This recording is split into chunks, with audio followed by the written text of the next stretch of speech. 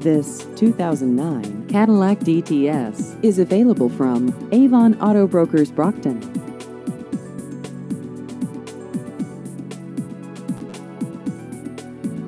This vehicle has just over 67,000 miles.